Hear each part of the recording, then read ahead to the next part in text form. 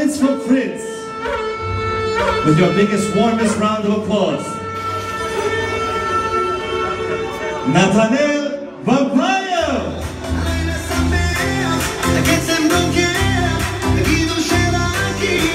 Let's go!